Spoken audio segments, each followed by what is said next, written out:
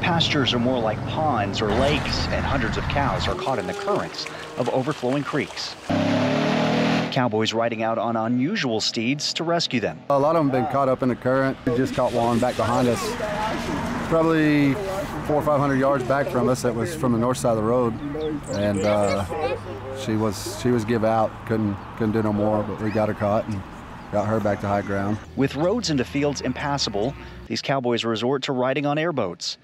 Some cows are able to push to shore, others they have to drag with ropes and harnesses. I'm told in this pasture there are around 300 or so cattle alone. You can see it's now completely submerged by a now swollen Cloud Creek.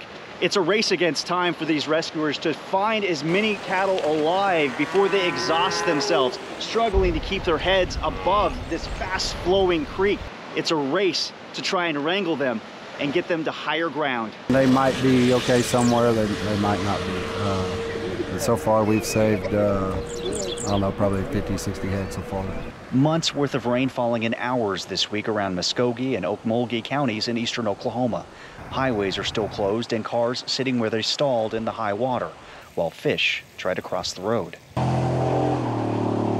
And the Cowboy Navy continues to hunt for the herds that can't save themselves.